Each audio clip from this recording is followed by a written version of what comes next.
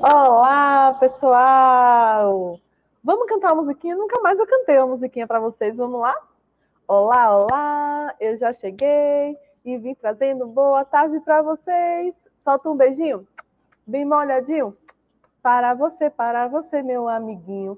Bom dia ou boa tarde! Dependendo da hora que você estiver cantando essa música, aí você faz aquela saudação bem maravilhosa, né? Para dar aquele bom dia, para iniciar bem o seu momento de aprendizado, tá certo? Então, como a Pro fala sempre, ó, disposição, arruma o seu cantinho de estudos. Se tiver com aquela preguiçinha, que é normal, às vezes a Pro também levanta com uma preguiçinha, é normal, viu? Todo ser humano passa por isso. Mas se você tiver com essa preguiçinha agora, ó, joga fora, fala, ó, preguiçinha, vai embora, para você poder aprender tudinho, tá certo? Então vamos lá? A gente vai começar com a leitura de leite. Então prepara aí um cantinho bem gostoso e confortável para você ouvir a história. Pode pegar um travesseiro, seu bichinho de pelúcia, se aquietar aí, ó, se, se, se aconchegar aí no sofá, no cantinho, na esteira, no chão, onde você se sentir mais confortável, tá bom? Então vamos lá? A história de hoje é a sabiá que não sabia voar. Você sabe o que é um sabiá? É um pássaro, é uma ave. E nessa história, ela não sabia voar. O que, é que será que acontece com essa sabiá, então? Um pássaro que não sabe voar. E vamos ver o que é que vai acontecer? Vamos lá. A sabiá que não sabia voar. Deixa eu falar o nome do autor, né? Que a Pro não falou o texto, né, o livro foi escrito por Alex Monteiro. E quem ilustrou foi Hudson Duarte, tá certo?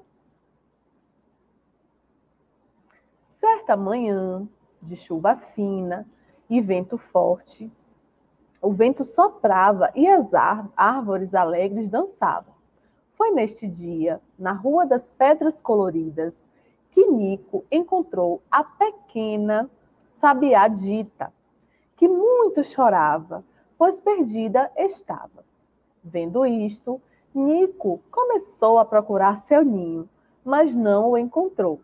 Então tirou sua camisa, enrolou a sabiá e a colocou junto a seus livros na sacola.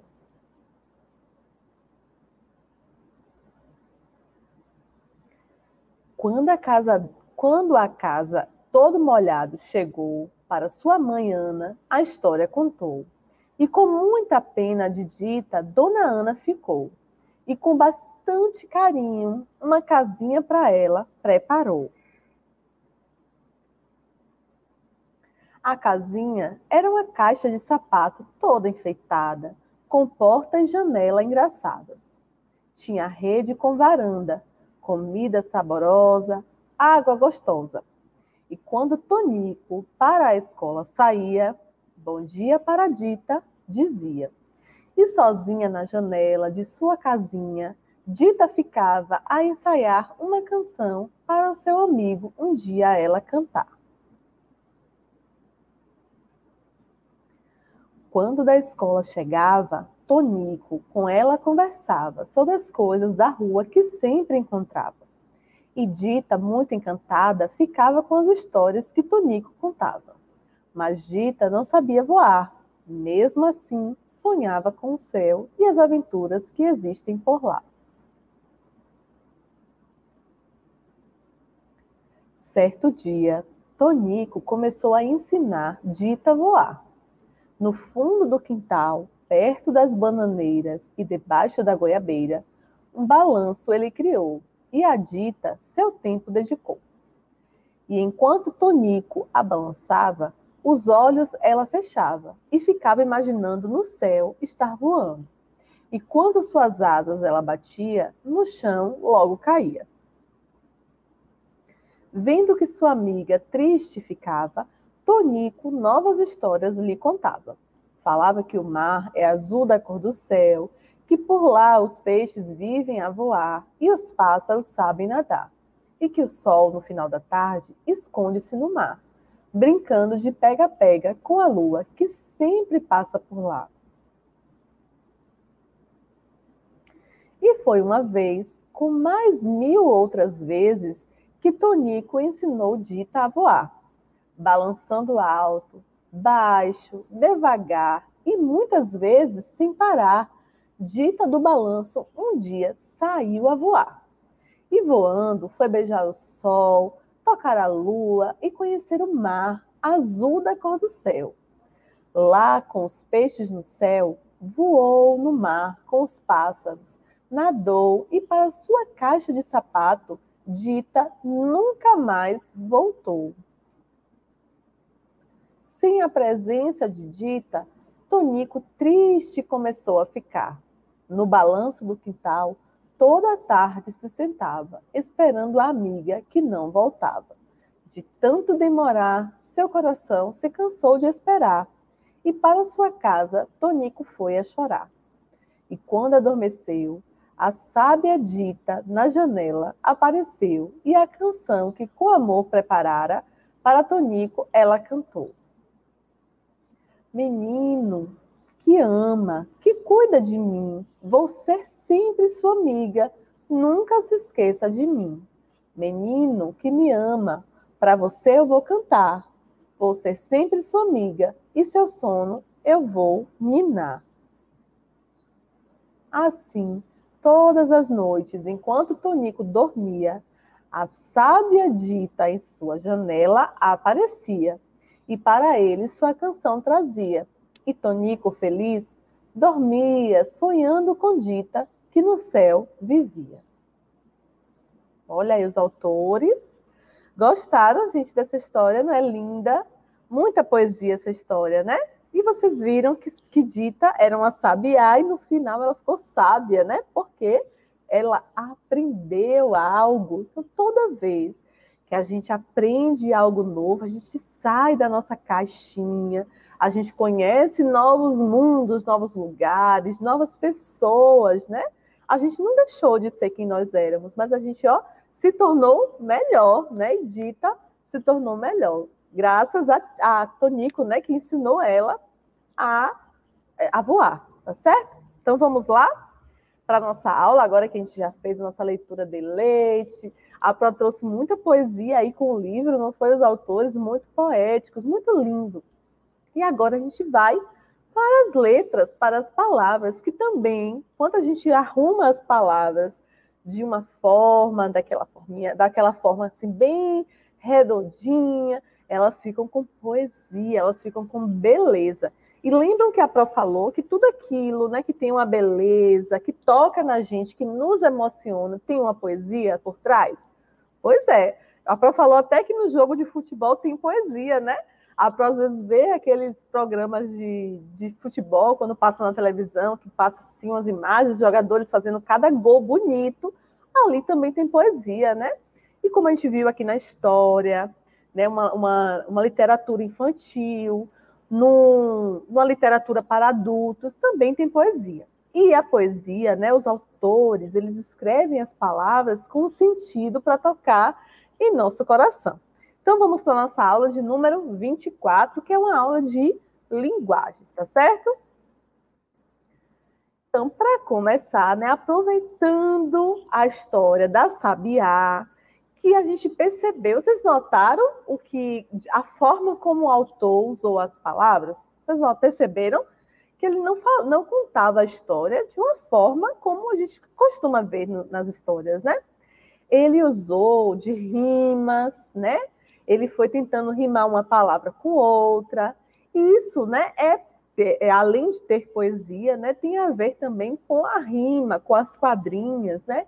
E ele, esse autor, é um autor nordestino. E aqui no Nordeste, a gente tem a literatura de cordel, né, que ajuda né, o escritor nordestino a colocar muita poesia e muita rima em seus textos, né? Então, e essas, esse tipo de texto, eles nos ajudam, ajudam vocês que estão aí no primeiro ano, ajudam vocês a lerem, sabia? Sabia que quando vocês, né? Quando a Pro lá na, lá na escola, eu tenho certeza que lá na escola de vocês a Pro faz isso. De ensinar vocês uma música, e escrever essa música no quadro, depois pedir para você escrever aquela música. Aí você fala, oh, Pro, mas eu já sei. Mas é um exercício que a Pro faz para você, né? Escrever um texto que você sabe de cor, né? Porque você é isso que vai te ajudar a escrever novas palavras, né? Não é você ficar escrevendo sempre a mesma coisa, mas é você, ó, eu já conheço essa música, por exemplo, aquela música da Baratinha, né? A barata diz que tem sete saias de, saias de filó. Então, se você já conhece aquele texto, né?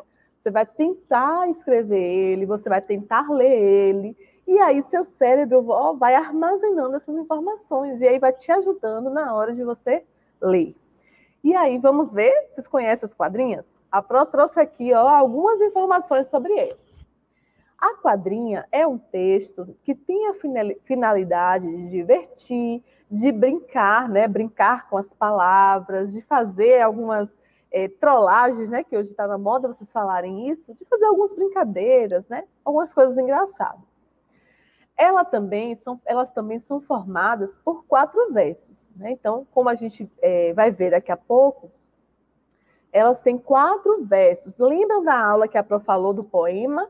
Que a estrutura de um poema, que ele é, ele é organizado em, em estrofes. Cada estrofe né, é formada por versos, e os versos formam, né, vão formando o corpo do poema.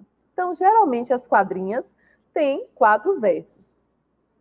E aí não é uma regra, mas a maioria das vezes, a última palavra do segundo e do quarto versos sempre rimam. Como assim, Pro? A palavra do segundo rima com a palavra do quarto verso. Eu vou mostrar agora para vocês como é isso. Olha só. Vamos ver se está tudo que, que foi dito lá.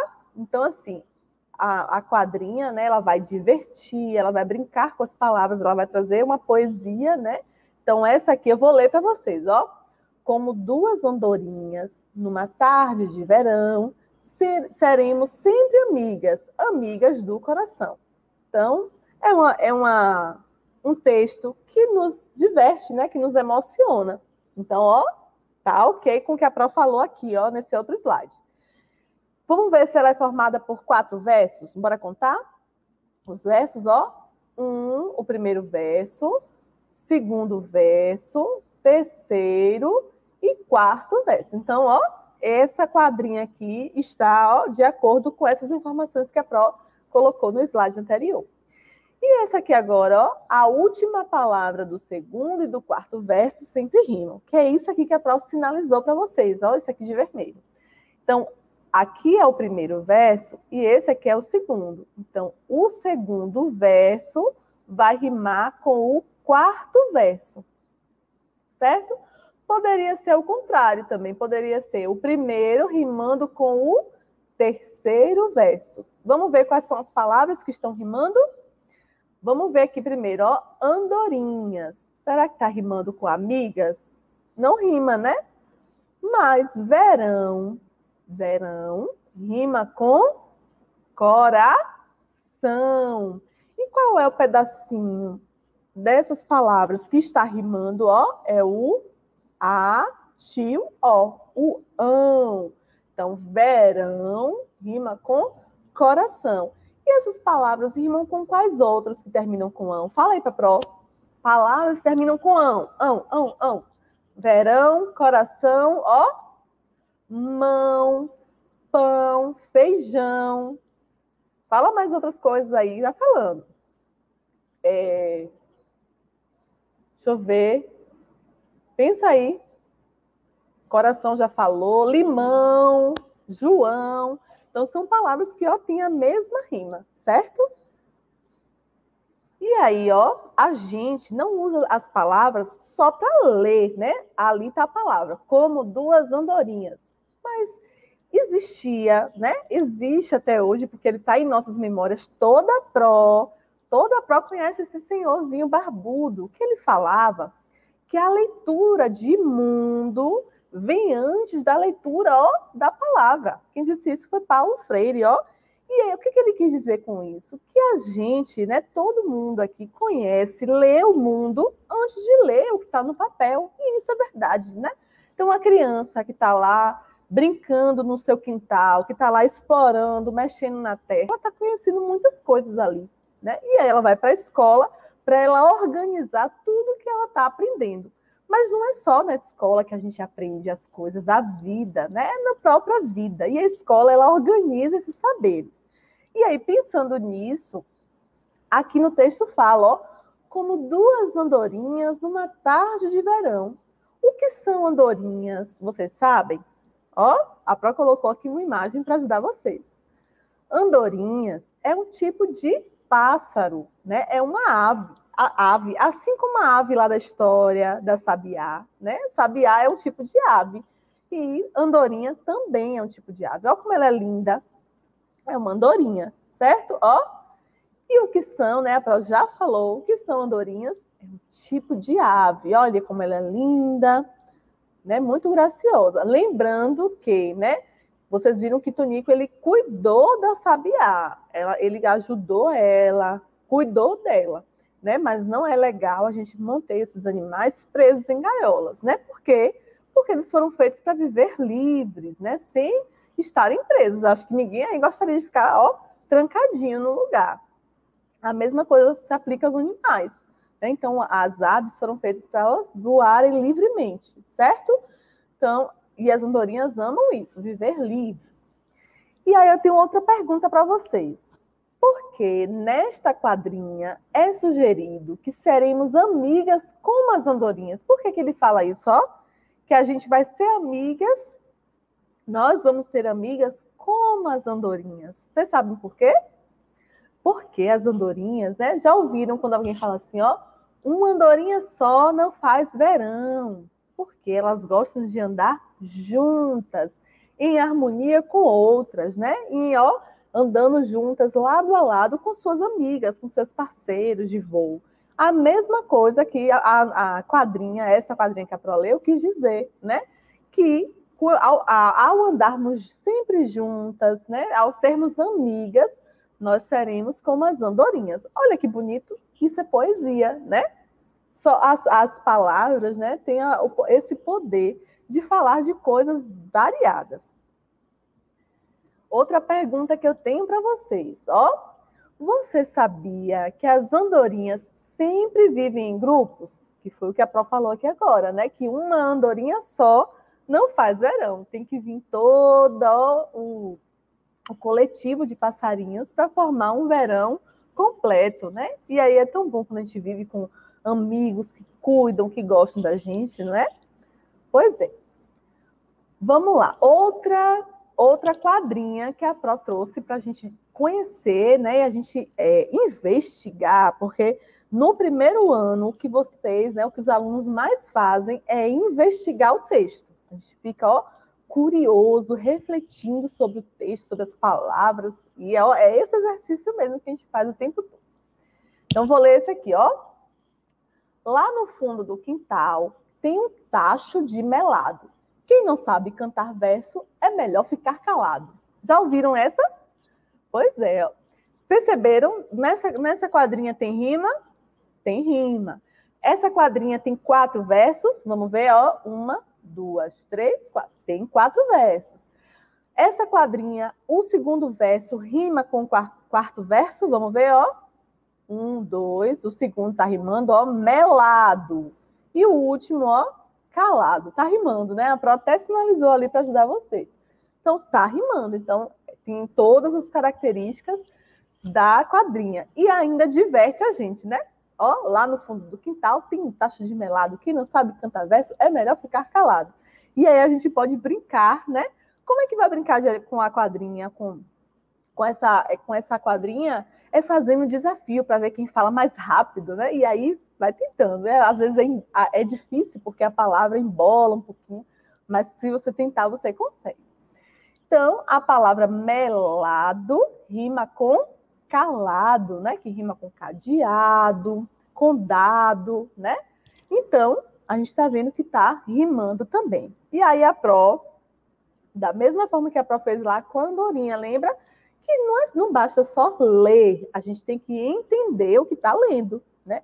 E vocês sabem o que é um tacho, por exemplo? Né? Porque quintal, a Pro sabe que todo mundo sabe, né? Que, mesmo quem não tem quintal em casa, sabe que é um quintal. Mas e um tacho? Você sabe o que é um tacho? Ó. Ó, o tacho aqui, gente, ó, é uma panela, uma panela de. Ou de. Para esquecer o nome. De, tem de, de aço, né? Inox, tem, tem tacho de diversas, de diversas formas. Quem gosta aí de comer é, acarajé, a baiana do acarajé, ela tem um tacho, né, para fritar o bolinho do acarajé.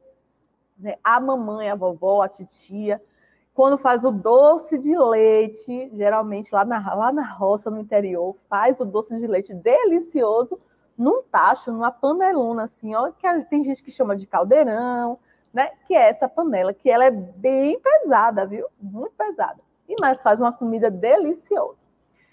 E aí, ó, melado, que a Pro colocou aqui, ó, ó o melado que é. Que é, né? O nome já lembra um pouco, mel, lembra o mel, né? Mas é, sabe o, o a, a, rapadura, né? Quando a gente, é, ela está sendo feita, né?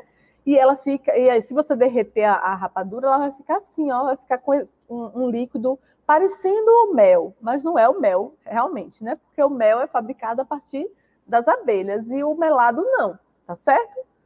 Só para vocês entenderem. E aí tem outra quadrinha que eu trouxe para a gente também ver as rimas, tá certo? Vamos lá, ó. Não há tinta nessa rua, nem papel nessa cidade. Caneta que consiga descrever minha saudade. Olha que linda essa, essa rima. Vocês conseguem conseguem é, ver as características dessa quadrinha? Vamos lá? Vocês que vão, vão, vão analisar ela sozinhos agora. Quero ver quem está aí, de olho na atividade. Ó, essa quadrinha, ela, tem, ela diverte a gente? Diverte, né? Ela toca a gente, emociona a gente? Sim. Próxima pergunta. Ela tem quatro versos? Conta aí na tela quantos versos tem essa quadrinha. Conta aí, ó. Tem quantas? Fala bem alto. Tem quantas? Quatro. Muito bom. E ela tem rima?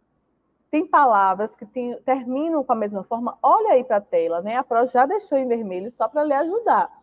Mas a próxima vez a Pro não vai deixar, não. Quero ver quem vai estar esperto. Então, tem rima, né?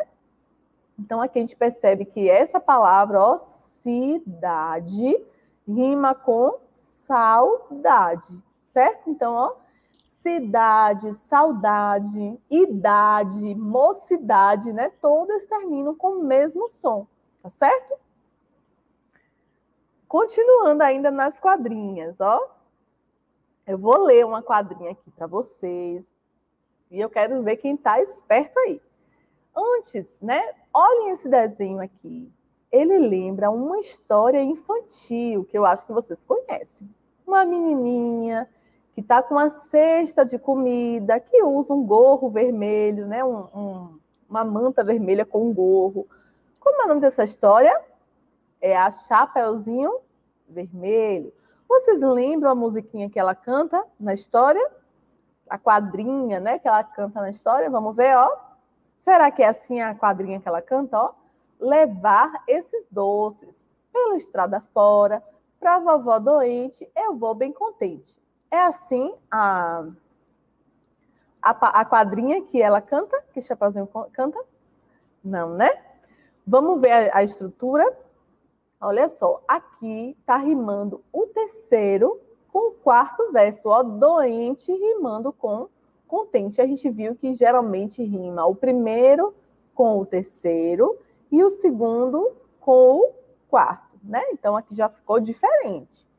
O que isso quer dizer, né?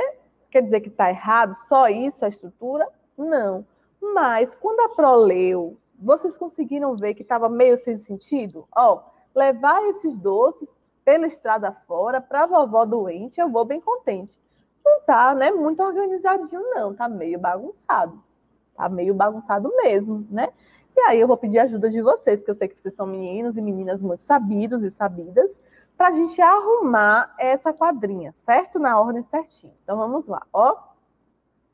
E aí a Pro colocou a pergunta, mas a Pro tá ó, querendo conversar logo com vocês. Ela não está organizada, né? É, de fato, ela está toda bagunçadinha. E vamos arrumar agora. Ó, levar estes doces pela estrada fora, para a vovó doente, eu vou bem contente. Então, a gente já sabe que não está organizado. Então, vamos organizar? Vamos lá? Qual é primeir, o primeiro verso dessa quadrinha? Vocês acham que é o primeiro? Qual é o primeiro? É levar esses doces pela estrada fora, para a vovó doente, ou eu vou bem contente?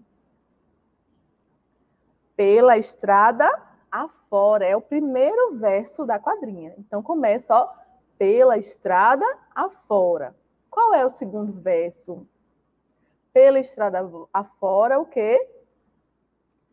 Ó, é a segunda aqui, ó. Eu vou bem contente. Então vamos lá, junto com a prole 1 e o 2, ó.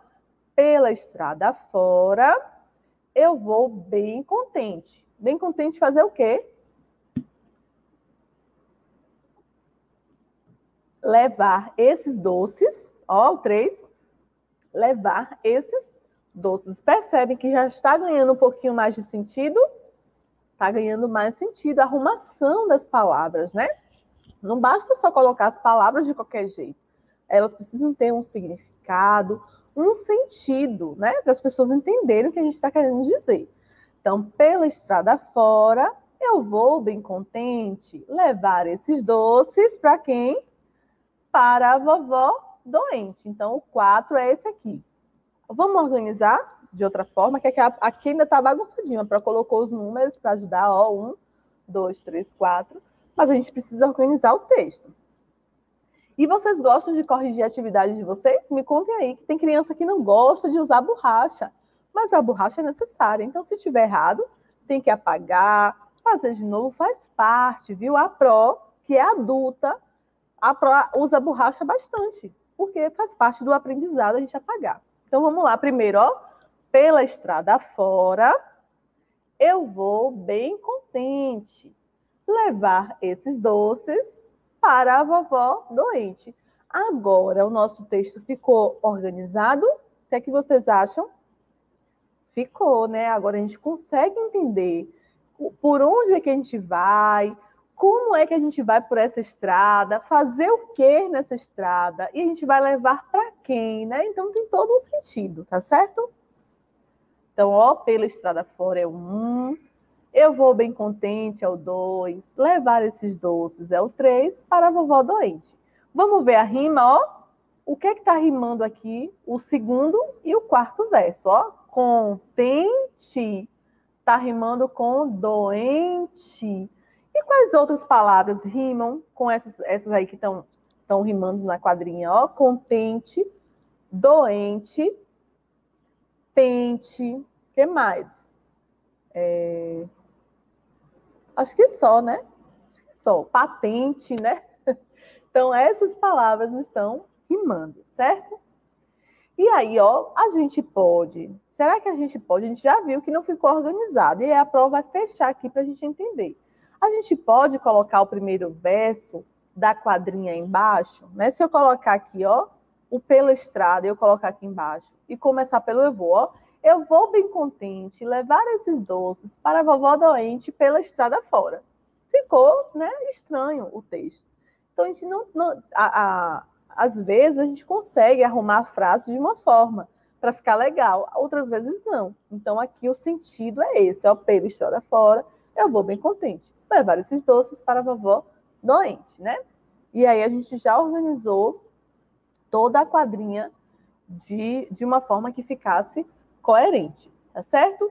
Então, a dica de hoje, né, para a gente finalizar e fazer essa, essa retomada do que nós estudamos é que né, a gente usa, nós já vimos em, na aula, em aulas anteriores, né, que a gente usa o alfabeto, a gente usa as letras pra, para escrever palavras e que com as palavras nós formamos as frases, nós formamos os textos, né? E tem textos de diversas, diversas formas. E nós precisamos refletir sobre esse sentido, o significado das coisas. Então, como a Pro falou antes, né? Vocês precisam também aprender a ler o mundo que está à volta de vocês. Então, é, quem fica só no joguinho do celular, quem fica só fazendo um tipo de coisa, não vai aprender né, vai deixar de aprender alguma coisa. Então, a gente tem que aprender um pouquinho de cada coisa, né? Então, ler livros, assistir, é, assistir aulas bacanas, né? Ouvir música, ouvir música é, que, que tenham, uma, tenham letras bacanas, né? Dançar, desenhar, pintar e brincar. Que isso tudo vai ajudando a gente, né? Vai ajudando o cérebro, cérebro de vocês a aprender muito mais coisas. Combinado? Então, se vocês fizerem isso, vocês vão ficar lendo bem rapidinho, tá certo, gente? Então, a gente vai ficando por aqui. E a gente se vê na próxima aula, tá certo? Um beijinho da Pro. Até mais e tchau, tchau.